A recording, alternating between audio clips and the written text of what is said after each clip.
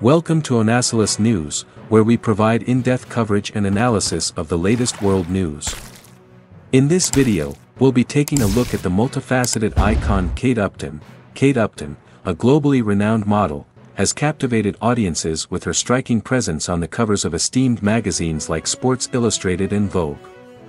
However, Upton's influence extends beyond her modeling career.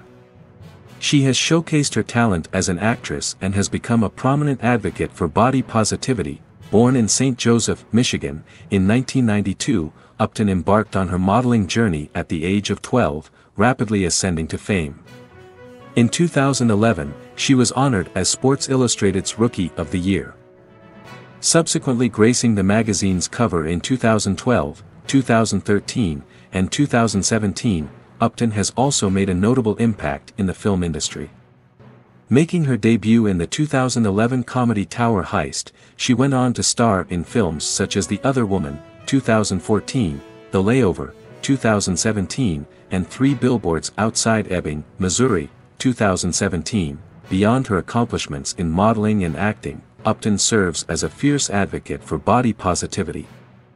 She fearlessly challenges unrealistic beauty standards and encourages women to embrace their natural curves.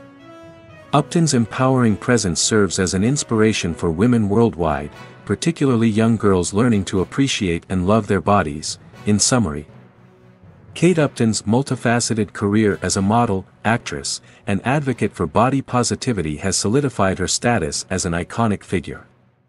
Her beauty, both inner and outer, resonates through her confidence, talent, and positive influence. Aspiring individuals in search of inspiration and empowerment need look no further than Kate Upton. Don't miss out on our next video, hit that subscribe button and on bell icon. Thank you for watching and stay tuned for more updates on world news and events.